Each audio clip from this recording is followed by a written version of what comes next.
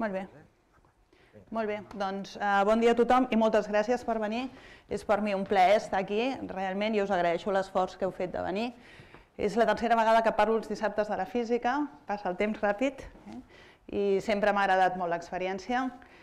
Uh, I avui voldria parlar una mica resumir, perquè heu estat aquí cinc dissabtes de la física, els que feu física, on heu sentit parlar de les tecnologies quàntiques i de diferents versions o diferents aplicacions de les tecnologies quàntiques. La setmana passada heu estat amb l'Andreas, estem al mateix grup parlant de comunicacions, abans heu estat parlant d'ordinadors quàntics, amb la Verònica de, de simuladors quàntics i l'Alba us va fer una visió general. Doncs el que m'agradaria avui és una mica resumir què és tot això de la quàntica, porteu cinc setmanes amb la quàntica i després parlar una mica de què són els sensors quàntics. Eh, els sensors quàntics és una altra de les aplicacions que hi ha avui en dia, potser la que és més rellevant, amb el sentit de que està més propera com a tecnologia, però n'hi haurà moltes més i aquesta és la vostra feina. No? Nosaltres hem fet una feina i hi ha moltes altres coses a fer i per això estic super entusiasmada per dos motius. Una, aquí, primer, perquè és una nova generació que ha d'entrar i que és un camp on hi ha moltes idees que s'han d'obrir, que s'han d'explorar, que s'han de conèixer, no és un camp tancat on queden petits problemes a resoldre, és un camp superobert i també estic supercontenta perquè veig moltíssimes noies, cosa que m'alegra moltíssim, val? perquè es necessita que hi hagi noies fent física també. Eh? Ja ho heu vist que nosaltres som unes quantes xerrant, però vull dir, es necessita. Jo sóc l'única noia amb el meu departament d'informació quàntica i som 25, vull dir que animeu-vos, que és un camp supermaco. Uh, hi ha dues coses que vull dir, òbviament, stop the war, però també us vull fer, abans de començar, una, un incís uh, perquè els científics tots ens estem plantejant fent una vaga per als efectes del canvi climàtic perquè ningú fa cas d'això i és molt seriós. I com vosaltres també sou joves, us vull dir, és possible que us trobeu que d'aquí uns dies tots els científics del món hem decidit que potser aturarem la nostra recerca per fer que tothom sigui conscient d'un problema que no és exactament el camp en què jo treballo, però els científics creiem de manera global en que la ciència té coses a dir i que s'ha d'escoltar. Dit això, avui voldria parlar, però parlaré poquet d'això, de com es mesura la temperatura més freda de l'univers, però el que us vull és donar una visió global de què és tot això de, del sensing, de mesurar coses. Uh, val.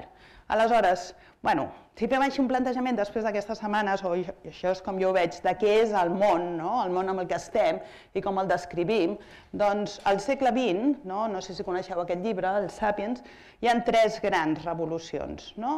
És, el segle XX és més o menys on vosaltres ja veu néixer el 21, però al final del 20 hi ha tres grans coses, que són, en certa manera, el descobriment dels àtoms com a tal, de la física atòmica, de començar a descobrir la quàntica, això, hi ha els bits, la informació, i hi ha els gens. No? Llavors, són els tres grans descobriments científics, si els veieu així una mica de distància, on ha crescut la ciència, a part d'altres moltes coses, no? però són tres punts claus.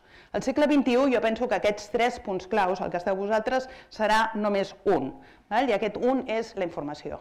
Val? Per què?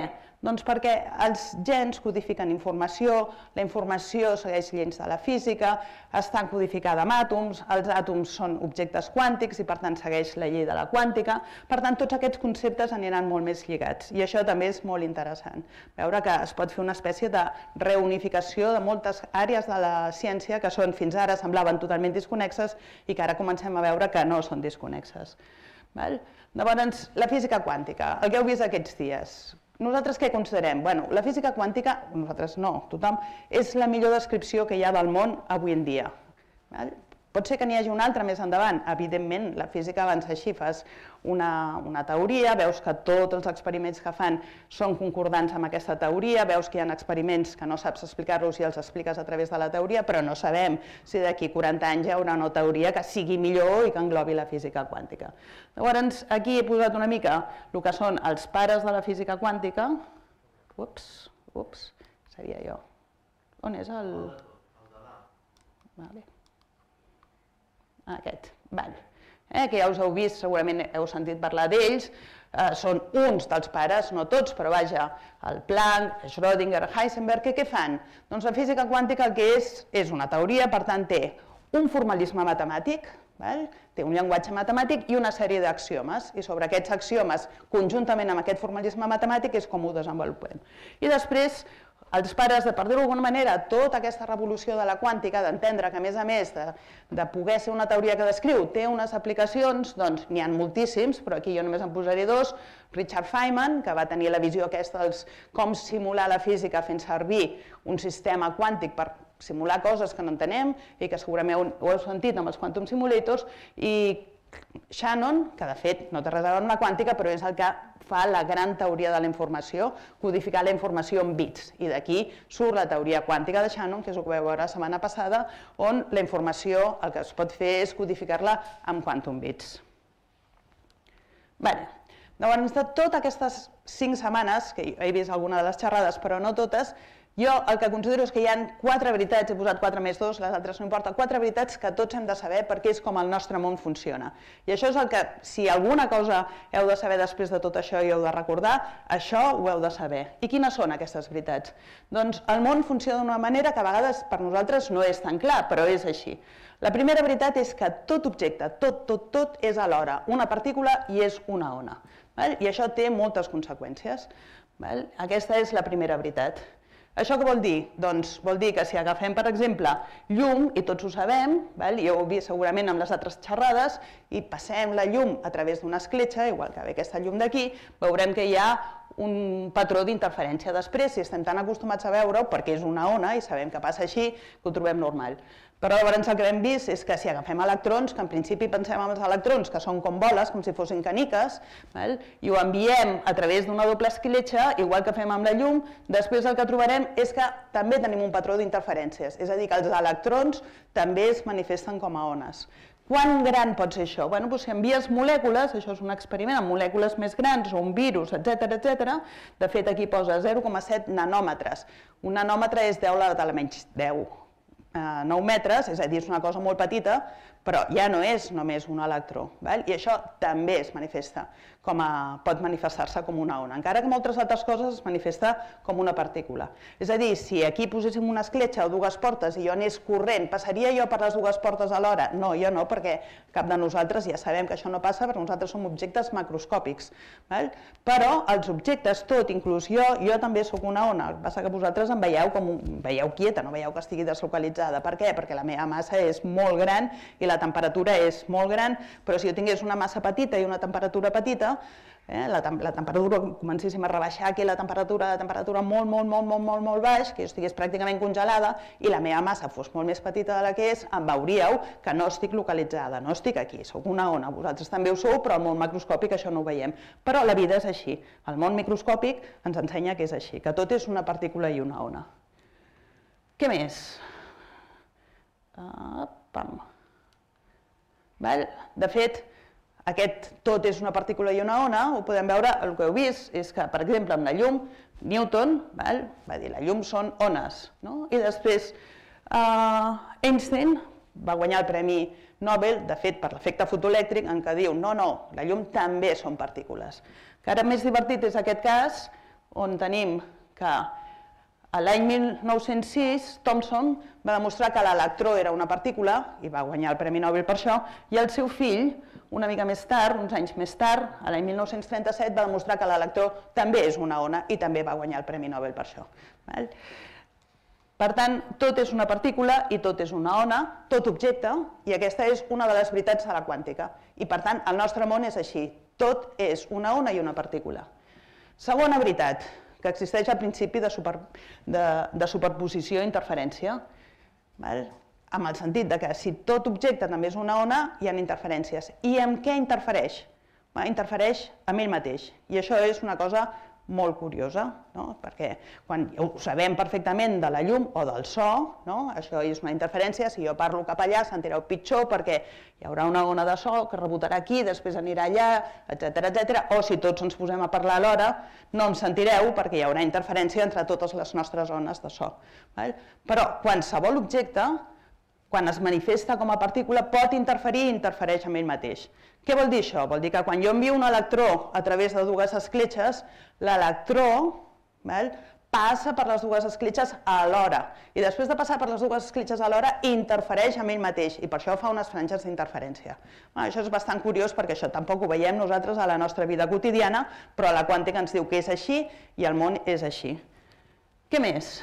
Doncs això és una manera una mica incorrecta de parlar, però vol dir que si jo sóc un electró i tinc dues portes allà i vaig corrent amb suficient velocitat i passo per les dues portes alhora, en certa manera, parlant malament, no és precís, però podem dir que l'electró o jo estem simultàniament en dos estats alhora, i això és potser el que heu sentit algunes vegades parlant del gat de Schrödinger.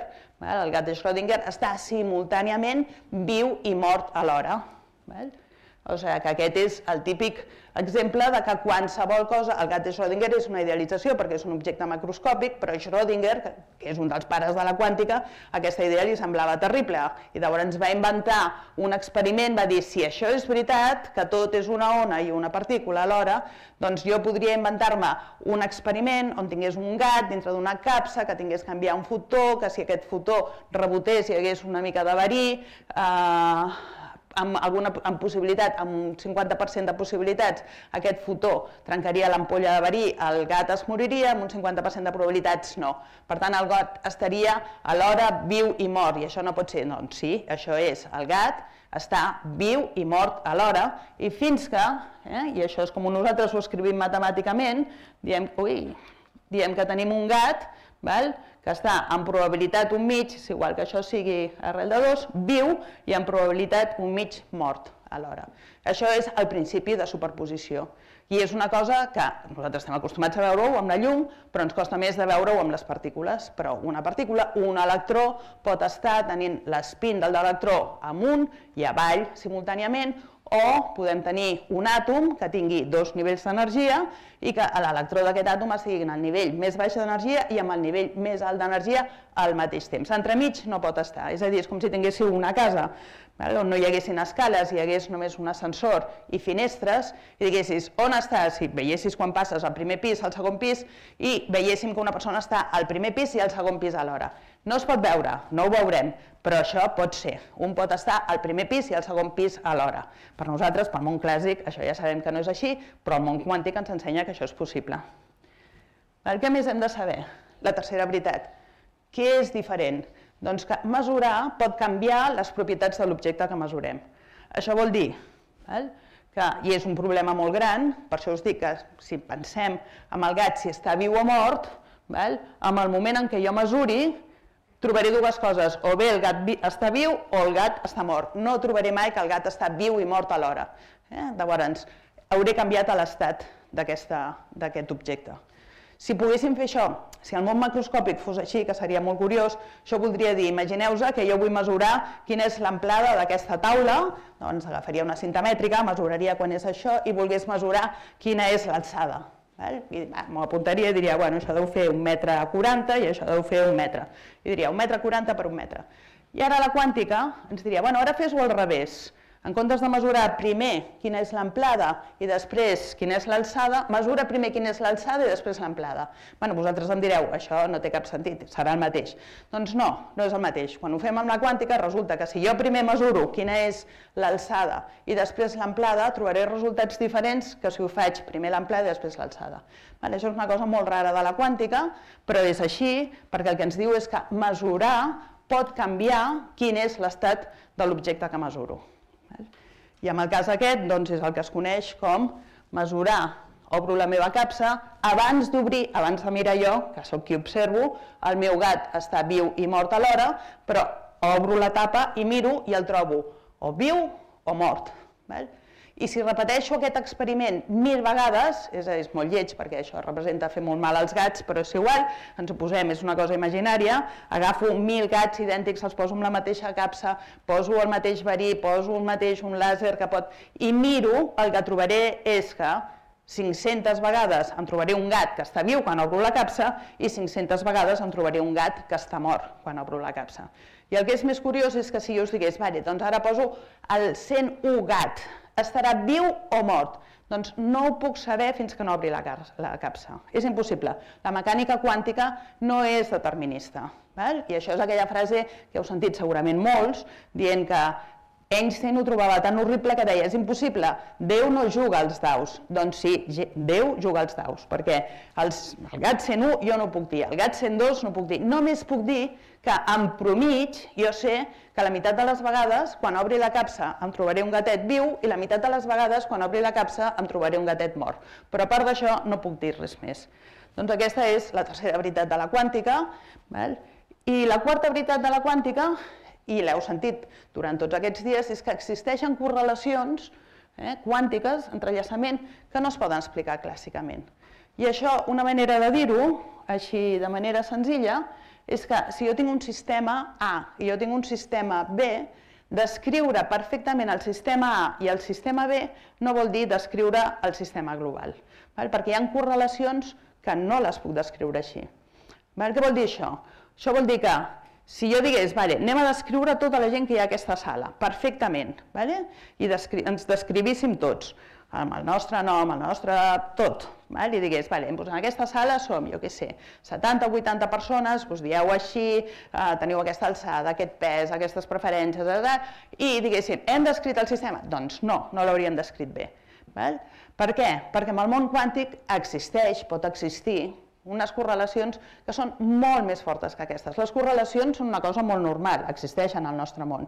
No? Jo, per exemple, tinc dos fills que són bessons idèntics i, òbviament, estan molt correlacionats. És a dir, si porto un aquí, l'altre no cal que el veieu, ja sabeu de quin color té els ulls, quina alçada fa, són absolutament idèntics. Això és una correlació clàssica i estan supercorrelacionats perquè tenen un ADN que és pràcticament que és igual, no? tenen un fenotipus diferent. Per tant, les correlacions és una cosa que nosaltres coneixem. Les correlacions quàntiques és una cosa diferent i molt més fort. És com si jo als meus bessons els digués, va, anem a fer el mateix tu saltes l'amplada i l'altre que salti llargada. I ho fan i m'apunto, i són físicament igual i tal. I ara els dic que canviïn, eh? que comencin amb un experiment diferent. Doncs ho faran diferent. Eh? Ho faran diferent. Aleshores, unes i no ho podré explicar clàssicament, és impossible. Val? I això és un altre ingredient, i de fet és l'ingredient, quasi diria que més fonamental de la quàntica, el que ens permet fer moltes coses com teleportar, com fer coses meravelloses que no ens permet fer la física clàssica. I si som capaços, com heu vist tots aquests dies, de manipular el món quàntic en una escala molt petita per fer servir totes aquestes avantatges, el que passa és que tenim accés a fer una tecnologia i això està molt bé, i altres coses, moltes que encara no ens hem imaginat ni tal sols com seran, que funcionen d'una manera diferent a la que funciona el nostre món quotidià. I aquestes tecnologies, algunes les heu vist, són properes, altres són més llunyanes, però n'hi ha moltíssimes més, que és que us dic, que estan per descobrir. Vull dir, nosaltres en coneixem unes quantes, no? perquè tots tenim tendència normalment a pensar d'una manera bastant similar. Jo conec com és això, per tant, m'imagino que quànticament serà així. Sé com és internet, doncs potser la quantum internet serà, però potser no. Potser l'internet quàntic serà totalment diferent, no ho sabem. O sigui que hi ha molt lloc d'exploració. Què més? La metrologia, que és el que faré jo avui. Metrologia o el sensing el que vol dir és aprendre, volem aprendre el valor d'un paràmetre amb la millor precisió possible. Això pot semblar una tonteria, però no és una tonteria perquè és el que fem constantment. Jo us estic mirant val? i estic mesurant amb els meus ulls, vosaltres m'esteu mirant i esteu mesurant, esteu veient que estic aquí, esteu escoltant el que estic parlant, exactament, i després descodificareu tota aquesta informació, però el sensing és com nosaltres entenem el món, com el podem veure, perquè per entendre el món i per relacionar-nos necessitem estar fent mesures constantment, i estem mesurant, el nostre cap mesura constantment. Aleshores, el problema aquí és, volem mesurar una cosa del nostre món que potser no sabem com mesurar. Llavors, us volia posar aquí un, un vídeo que està en anglès de l'ICFO, que a veure si ho sabré fer. Sí perquè veieu una mica de què va aquest sensing.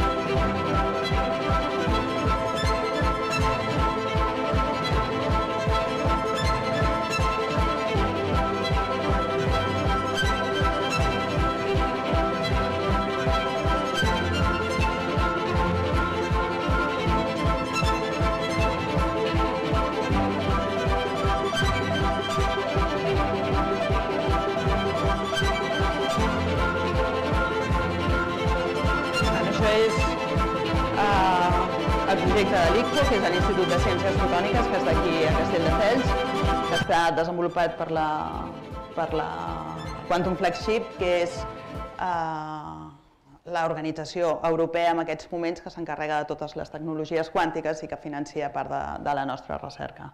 Per tant, el que vol dir el sensing és que volem mesurar coses que són molt difícils o que necessitem molta precisió. Però per entendre què és això necessitem primer de tot posar una escala. No? Què vol dir molt difícil o què vol dir molta precisió? Per tant, si mirem el nostre món així, nosaltres, ara jo us demanés, digueu-me escales, no? doncs què pensaríeu primer? Doncs hi ha escales immenses, no? l'univers. No? Ens podríem preguntar quin és el tamany de l'univers. No? Doncs volem el tamany de l'univers, 97 bilions d'any llum. Un, un any llum, 10 elevat a la 13 quilòmetres. Eh? O sigui, un 1 i 13 zeros darrere. Això són, vale?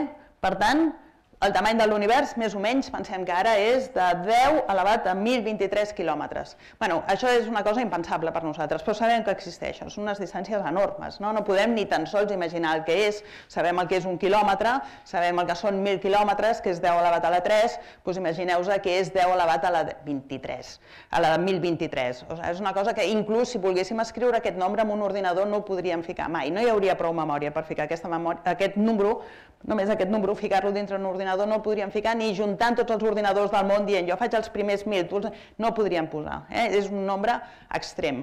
Vale? Aquesta és una escala que és humana, perquè nosaltres veiem el cel, veiem l'univers, ens podem plantejar aquestes coses. No? Després hi ha una altra escala que és més humana, que és la nostra, no? i aquesta és el típic dibuix de l'home de Vitruvio, val? que és un arquitecte romà, val? de principis, crec que és de l'any no vull dir, 200 abans de Cris, una cosa d'aquestes, que va fundar tot el que era l'arquitectura i Leonardo da Vinci aleshores sobre aquest projecte, quan va arribar i va conèixer aquest llibre, que es va, va ser traduït a l'any 1400, va arribar aquí, no? doncs va imaginar com seria l'escala, l'home perfecte igual que l'arquitectura romana, i aquesta és la nostra escala. I com és la nostra, la nostra escala, nosaltres necessitem mesurar, i el que fem és posar un sistema de, internacional d'unitats perquè hem d'estar d'acord. Quan parlem de distàncies, jo no puc dir, ah, és molt gran, i tu dius, què vols dir molt gran? Ai, no sé, molt gran. Doncs molt gran per mi per tu pot ser diferent. Per tant, establim una, un sistema d'unitats que ens serveixi a tots. I aquestes són les unitats. De fet, van estar modificades a l'any 1918.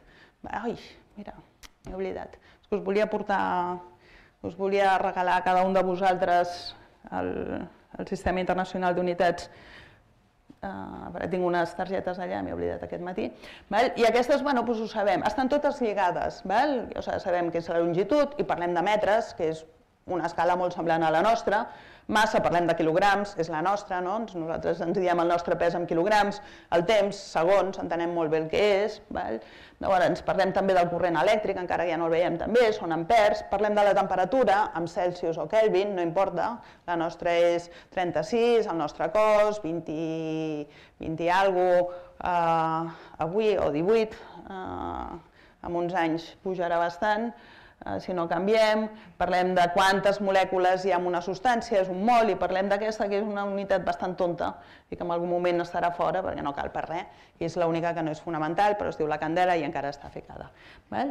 I també tenim altres unitats, com aquestes, llavors totes les coses que nosaltres necessitem ens posem una escala i les fem servir. I tenim doncs, el que és un, un hertz, perquè parlem sempre de freqüències, és una cosa típica, parlem de les forces i parlem de newtons, parlem de pressions, no són quantitats fonamentals, perquè són totes derivades d'aquestes de d'aquí, amb totes aquestes puc derivar-ho tot, val?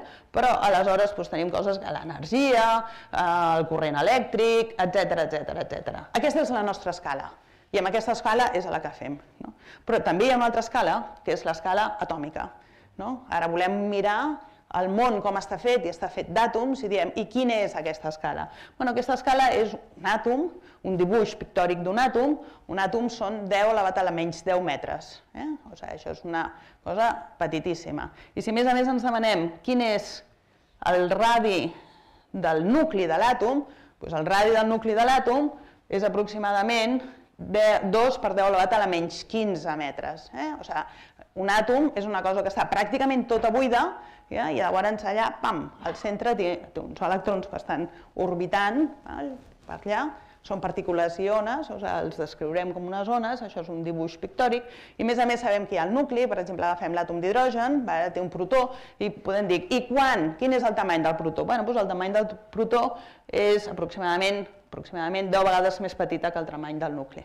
Vale? O sigui, que tenim aquestes tres escales, anys llum, metres i això que es diuen nanòmetres, 10 a la tal menys 9, o Armstrongs. Eh? Aquesta unitat, 10 a la tal menys 10, li diem un Armstrong perquè vol dir quin és el tamany d'un àtom, més o menys tots els àtoms, més o menys són iguals. Mm? Vale, què volem fer nosaltres? Doncs nosaltres el que volem és ara mesurar coses per veure com és el món d'una manera, amb una precisió gran. Llavors deia, bueno, i farem servir la quàntica per això. Per tant, un pensaria, bueno, si fem servir la quàntica, el que farem és mesurar coses que són molt petites. Doncs no, no necessàriament. Per exemple, la primera cosa, que no és ben bé de la tecnologia quàntica actual, però que és un gran eh, fet eh, dintre de la ciència, és l'haver mesurat per primera vegada ones gravitatòries. I què són aquestes ones gravitatòries? Bueno, les ones gravitatòries és una cosa descrita fa 100 anys per Einstein, no? d'una manera senzilla podem pensar que diu l'espai és una cosa que està corbada. Bueno, això sembla molt difícil però és bastant fàcil d'imaginar. Imagineu que vosaltres agafeu un llençol i el teniu així tensat vale? i ara poseu una bola que pesa allà. Bueno, doncs el, el, el llençol que farà? Doncs es corbarà. Val? Doncs això vol dir que es corba a l'espai-temps. I ara imagineu que amb aquest llençol per un costat, eh, on hi ha una bola, allò que pesa bastant, tireu una altra bola que pesa bastant, eh, i el llençol té una, una mica d'elasticitat. Doncs hi ha una col·lisió i el llençol que farà? Doncs vibrarà una miqueta. Val? Imagineu que en comptes de ser una cosa molt rígida, val? i aquesta vibració de l'espai-temps, això són les ones gravitatòries. Val? Llavors, si és veritat tota la teoria de Newton, d'Einstein, etc, les ones gravitatòries, quan hi ha alguna cosa a l'univers que sigui molt gran i que canvi l'espai-temps, hem de ser capaços de mesurar-la. Eh? Doncs, com es mesura això? Bueno, doncs per mesurar les ones gravitatòries cal mesurar una diferència de distàncies que és de l'ordre de 10 elevat a menys 19 metres. Okay? So, moltíssim més petit que el tamany d'un àtom, mil vegades més petit que el tamany d'un protó, i hem de ser capaços de fer-ho. Bueno, això sembla una tasca impossible. No? O sigui, no ens podem ni imaginar quina és aquesta mesura, però, per dir-ho d'alguna manera, és com si us digués, bueno, mesureu els cabells de tota la població del món i doneu-me un error que sigui d'un cabell. Només això us necessito. Vale? Si sou capaços de fer això, som capaços de fer això. Bueno, us podeu imaginar que aquesta és una tasca bastant difícil, que hi hagi algú que pugui mesurar el cabell de tota la població del món mundial i equivocar-se més o menys per un cabell més o menys. Doncs estem parlant d'aquest tipus de precisions. Com es fa això? Doncs, per què, per què hem de mesurar aquestes distàncies tan petites? Doncs perquè la manera que tenen de fer-ho, o de la manera que han fet, val?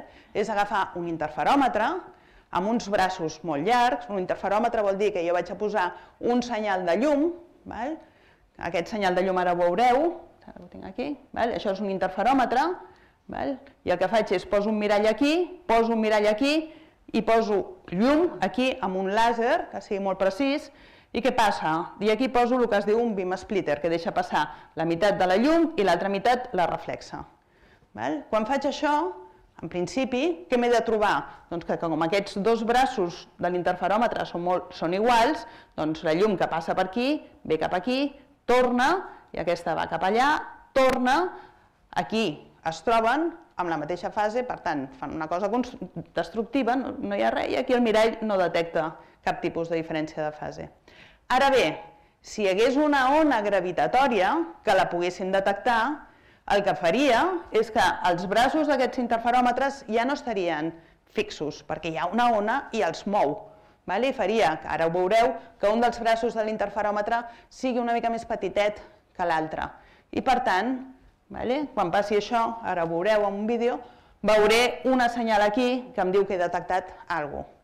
I quanta diferència hi ha entre aquests braços quan hi hagi una ona? O sigui, quan tenim una cosa, si aquí tinguéssim fent obres, notaríem que tot vibra, no? Vull dir, ai, notaríeu que els vostres seients vibren i tot això.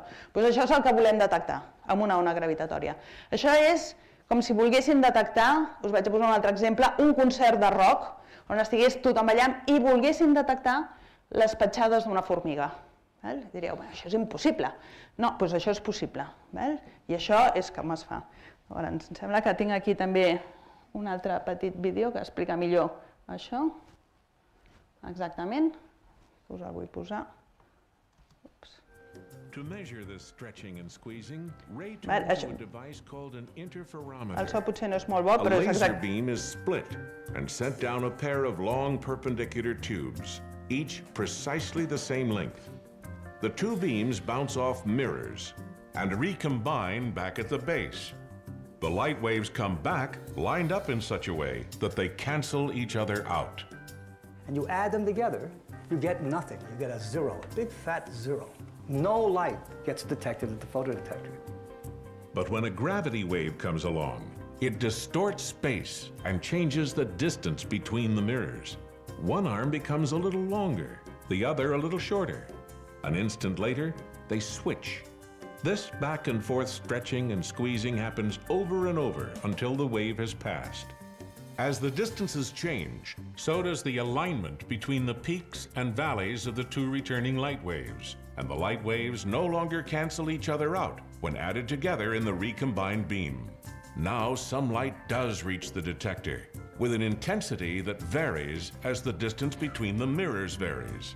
Measure that intensity, and you're measuring gravity waves. Val? Doncs això és com es mesuren, o com s'han mesurat les ones gravitatòries, més o menys, d'una manera una mica, no sé on està el Rafa, igual em diu no, no. D'una manera una mica senzilla, però es mesura així. I quina és aquesta distància, ara que hem fet que els, els braços dels interferòmetres, aquests interferòmetres són molt grans, tenen uns braços de 4 quilòmetres, val? aproximadament, aquest és LIGO, s'han de fer, ara n'hi ha diversos al món, s'han de fer amb una precisió absoluta perquè no hi hagi res, absolutament res, aquest és el problema, que distorsioni més que la ona aquesta, val? que és super feble. I, evidentment, s'han de protegir, eh, de, perquè és igual, un cotxe passant pel costat fa una, una pertorbació molt més gran que la que fer una ona gravitatòria, però es pot fer. Per tant, podem mesurar coses que, són, que pertanyen a l'univers, no? això és quan dos forats negres van col·lisionar fa, jo què sé, la tira d'anys i ara veiem la conseqüència d'això. Per tant, què ens permet això? Doncs això és una càmera a mirar l'univers. ¿vale? O sigui, estem aprenent una cosa de l'univers que si no, no podríem fer-ho. Per tant, sensing és mirar, mirar el que passa. Ara vaig a posar un altre exemple que és totalment diferent dintre de la nostra escala humana, que és com es fa. Per exemple, volem mesurar el cervell, val? l'activitat del cervell. Bueno, doncs, fins ara això es pot fer, t'han de posar, igual que es fan les ressonàncies o el que sigui, amb un gran tub, tu no et pots moure i amb molta dificultat es poden veure i es poden veure senyals del cervell. Però tu no et pots moure, vale? és l'única cosa que tu pots fer és estar allà dintre d'un tub o dintre d'un assegut, en un calaix, però si tu vols mesurar, per exemple, quina és l'activitat d'un cervell, del cervell amb els nens, això és impossible perquè un nen petit no es pot estar quiet. No? Aleshores, ho podem fer d'alguna manera. I què és el que hem de mesurar? I tornem a dir una altra vegada. Per exemple, per tenir, per tenir idea més o menys de quin és el, les nostres neurones, vale? quan estan actuant, ara jo quan moc el braç, quan estic parlant, vosaltres que esteu escoltant, etc., hem de tenir un ordre de magnitud que volem mesurar.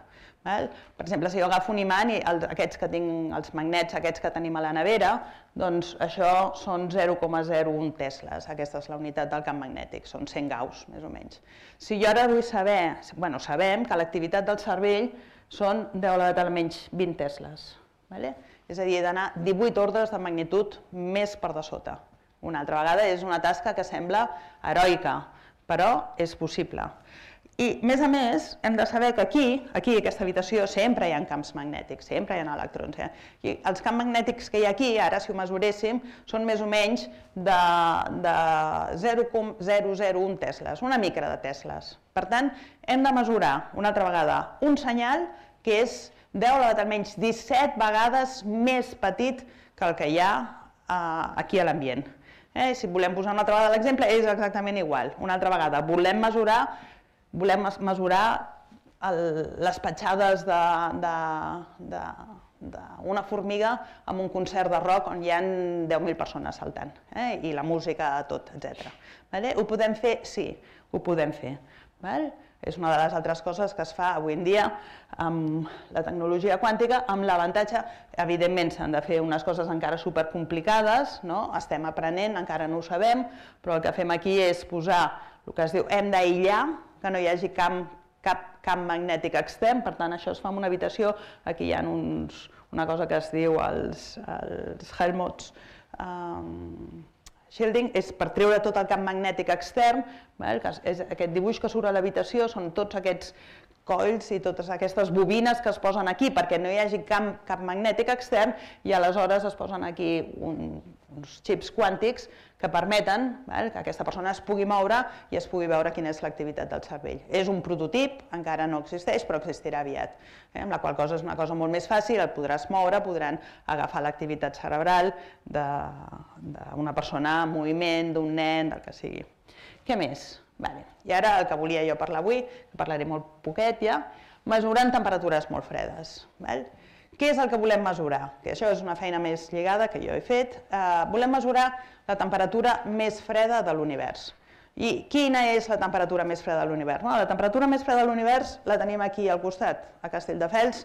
Existeix el que es diu un condensat de Bose-Einstein, que és, tu agafes àtoms val?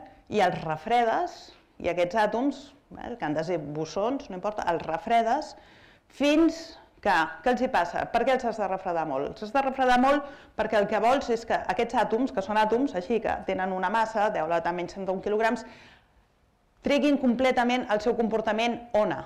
Eh? Per tant, us he dit que perquè tu vegis una ona, val? D'un àtom necessites o bé que la massa sigui molt petita, és molt petita, o bé que la temperatura sigui molt freda. Val? Per tant, hem de fer que la temperatura sigui molt freda i de tal manera que si nosaltres fóssim bosons, ara fóssim uns àtoms que es diuen bosons en comptes dels fermions, a aquesta temperatura tan freda estaríem degenerats. Què vol dir això? Vol dir que la longitud d'ona meva i la vostra, la de cada un de vosaltres, seria la mateixa. Val? No podria dir qui és qui, tots actuaríem com una sola partícula, però molt grossa. Val? Doncs aquests són els condensats de Bose-Einstein. A vegades s'agafen 10 elevat a un milió d'àtoms, es refreden molt. Com es refreden? Bé, es refreden igual que... bastant complicat, però igual que nosaltres refredem una tassa de cafè. Què fem? Tenim una casa, un got de llet calent. Agafem una cullereta i remenem. I per què remenem? Bueno, remenem perquè d'aquesta manera els àtoms que estan més calents, quan remenem que veiem? Que surt fum. I què és aquest fum? Els àtoms que estan més calents. Vale? Aquests se'n van fora i els que es queden estan més freds. Doncs per aconseguir això es fa el mateix. Remenem els àtoms amb un làser, tots els àtoms que estiguin calents, suficientment calents, marxaran fora, els deixem marxar, vale? I aleshores ens quedem amb els àtoms que estiguin freds. I quan són freds, freds, freds, freds, el que veiem és el següent, que els àtoms estan així, més o menys, i de sobte, pam, pam, pam, pam, i es fa un pic aquí. Val? I aquest pic és, tots els àtoms es comporten com si fos un únic àtom. Tots són ones i les ones estan superposades. No puc dir quin és quin. Val? Això és un condensat de Bose-Einstein i la temperatura que necessitem per trobar això és aproximadament de, per de sota, de 10 elevat a la menys 9 kelvins. Val? Bueno, el zero absolut són 0 kelvins, val? la nostra temperatura són 273 kelvins, doncs hem d'anar 10 ordres de magnitud per de sota. Val? I això es fa, es fa aquí a Castelldefels, es fa a molts llocs del món. I per tant volem mesurar aquesta temperatura, que és superpetita, i la volem mesurar amb precisió. Per què necessitem mesurar amb precisió? Eh, perquè si m'equivoco i en comptes de 10 elevat al menys 9, el el meu termòmetre em diu 10 elevat al menys 8, jo no trobaré un condensat de Bose-Einstein, perquè necessito aquesta temperatura de degeneració. Podem mesurar això? Sí, podem mesurar-ho. Com ho mesurem? Doncs això serà una mica més tècnic. Hi ha bastantes maneres de mesurar-ho. Llavors, aquesta és la temperatura, aquí, amb kelvins, eh? estem parlant de 10 a la menys 3 kelvins, hi ha moltes coses que pots fer, no importa, això són quantum dots, això són nanodiamonds i, i, per exemple, per què es fa servir això també? No només per mesurar aquesta temperatura que és molt extrema, però imagineu que volem mesurar la temperatura d'una cèl·lula única, i volem veure les reaccions químiques que passen en una cèl·lula i volem veure si això és un procés exotèrmic, dona temperatura o no ho és, etc. Per tant, per poder entendre tot el comportament del món biològic, això no sóc jo, no? a molt baixa temperatura hem de poder fer aquestes coses. Com ho fem? Doncs ho fem Ui, m'he quedat aquí encallada. Bueno, no passa res, al final. Com ho fem? Doncs ho fem igual que nosaltres ens mesurem la temperatura, no? Quan ens trobem malament, què fem? Agafem un termòmetre, ens el posem sota el braç, esperem una estona, val? i al cap d'una estona mirem el termòmetre i llegim i diem, ah, estic a 37, estic fantàstica, o estic a 36 i mig, o estic a 39, estic fatal. Val? Per què fem això? Bueno, perquè nosaltres som molt grans, no? i això és molt petit, per tant, la temperatura nostra, quan ens posem una cosa que és molt petita, no canvia pràcticament, però en canvi ens posem un sensor que és molt petitet, que en contacte amb nosaltres sí que nota el canvi de temperatura i el llegeix. I aleshores hem de pensar, bueno, si volem fer un termòmetre per nosaltres, no podem agafar un termòmetre, hem de, hem de mesurar amb precisió. Quina és la precisió? Bueno, la nostra temperatura és 36 i mig més, més menys mig grau, val? necessitem un termòmetre que almenys marqui això. Ara, si jo us dono un termòmetre per mesurar la vostra temperatura, que les ratlles estan a 10 graus centígrades, anem malament no? perquè si vosaltres esteu a 36 i a 10 graus seria 26 i la següent escala 46, doncs en els dos casos estaríeu morts. No? Per tant, hem de pensar quina és l'escala que necessitem. Vale? Si nosaltres la nostra temperatura és 36 graus, doncs ens, ens és suficient per nosaltres, si estàs en una situació mèdica potser és no, però per nosaltres és suficient saber si estem amb una dècima de, de, de, de grau. Aquesta és la nostra precisió. Però si volem mesurar 10 elevat al menys 19 kelvins, o 10 elevat al menys 9 kelvins, perdó, la precisió ha de ser molt petita, i això és difícil. No? Però ho fem exactament igual. Agafem una mostra, la que sigui, un condensat, vale? i posem una prova, excepte que aquesta prova que serà ara? Doncs serà un àtom, o un qubit, o una cosa d'aquestes. I què farem? I llegirem. Vale? I aleshores, què ens ensenya la quàntica? Això és una mica més tècnic, però no importa. Què ens ensenya? Quan, quan fem nosaltres això, com ho fem? Doncs quan nosaltres ens mesurem a nosaltres la temperatura, ens la mesurem una vegada i ja està. Però quan estan provant el termòmetre eh, i estan construint un termòmetre, no mesuren una vegada, mesuren mil vegades, un milió de vegades, 10 milions de vegades. Val? I el que veus és que l'error que té aquest termòmetre ha de ser, si el termòmetre és bo, val? el vas ajustant a més mesures que fas, Val? Ajustes el termòmetre perquè el termòmetre sigui millor. Val? Per tant, va com 1 sobre n, on n és la quantitat de vegades que ho fas. I aquest és un error que es diu, aquest error val? és el que es diu l'error shot noise. Vale? El, el, el soroll que hi ha per cada vegada que jo mesuro. Pues, quànticament ho fem el mateix. Vale? Agafem una mostra i enviem un termòmetre, pam, pam, pam, pam, pam, pam, i després mesurem la temperatura exactament igual que nosaltres, enviem el nostre termòmetre, passem aquí i mesurem la temperatura d'aquest termòmetre, que ara serà un termòmetre quàntic. Vale? I això ho tenim totes les vegades que ho fem i el que ens interessa és que aquest número d'aquí sigui superpetit. Vale? I aquest nombre es pot fer petit en, diversos, en diversos casos, però la quàntica ens ensenya que aquest nombre, si nosaltres el que fem servir és un termòmetre normal, val? és a dir, un sistema quàntic senzill, doncs podrem trobar el millor termòmetre i sabrem quan val això d'aquí. I no es pot millorar, és impossible, ho sabem com és i no es pot millorar. Ara bé, si fem servir un termòmetre quàntic, que és aquest d'aquí, eh? si el nostre termòmetre quàntic, que és aquest d'aquí, en comptes de ser un sol àtom o un sol spin, és un spin que està entrellaçat, que hi ha correlacions, el que ens diu la quàntica és que aleshores som capaços de trobar aquest nombre d'aquí amb molta millor precisió. Ja no va com un partit per n, sinó va com un partit arrel quadrada d'n. Aquesta és una diferència molt gran. Doncs aquests són els termòmetres quàntics. Això és la manera de fer-ho, que és una manera més tècnica, i ja està, llavors et poses el teu termòmetre, tens el teu sistema i veus que el millor termòmetre possible que pots tenir és un sistema, és un àtom o és un electró o és un sistema quàntic vale, que només té dos estats, un estat fonamental i un estat excitat, el que sigui, i aquest és el millor termòmetre possible que podem fer servir si no fem servir entanglement i si fem servir correlacions quàntiques, aquest termòmetre pot millorar molt i molt i podem trobar que la temperatura d'un condensat és 10 elevat a la menys 9 kelvins més menys eh, 10 elevat a la menys 10 kelvins, per exemple. I aquesta precisió és important. Per tant, amb això vull acabar dient-vos que aquest és un camp que té moltes aplicacions, perquè evidentment té moltes aplicacions biomèdiques, però no només biomèdiques, val? hi ha moltes coses que ens interessa mesurar, voldríem poder mesurar, per exemple, evidentment, si un volcà entrarà en erupció i produirà un tsunami abans que arribi. Avui en dia, tal com es fa, és molt primari. Esperem un senyal, no? ho sabem, perquè esperem un senyal, però aquest senyal, quan el detectem, és molt gran, però potser podríem detectar moltíssim abans. Moltíssim abans vol dir suficient temps abans com per prendre precaucions. Estem parlant de mil·lisegons. Podeu dir, quina tonteria, bueno, mil·lisegons són molt importants. Per exemple, el, el tsunami que va haver-hi al Japó, val? Si el temps de reacció hagués estat uns mil·lisegons abans, no hagués passat pràcticament res, perquè és un país molt preparat per això i haguéssim pogut encendre totes les alarmes. Hi ha moltes coses que volem detectar i que podem no, no sabem detectar. Volem poder detectar coses petitíssimes i, per exemple, us vull posar que aquest és un exemple real, val? De que amb aquests termòmetres, per exemple, es pot mesurar la febre, val? que té un cuc, aquest cuc d'aquí, que és un cuc que fa un mil·límetre de, de, de llargada, val? on se li posa un, un, un àtom dintre sense, sense matar el cuc, un àtom és molt petit, es posa un cristall, de fet, vale? i es mesura quina és la temperatura i es pot veure quan aquest bitxo té una temperatura que no és la que li correspon sense haver-li fet res al bitxo. Per tant, això és el que vol dir mesurar temperatures molt petites. I moltes gràcies per l'atenció i amb això m'agradaria acabar.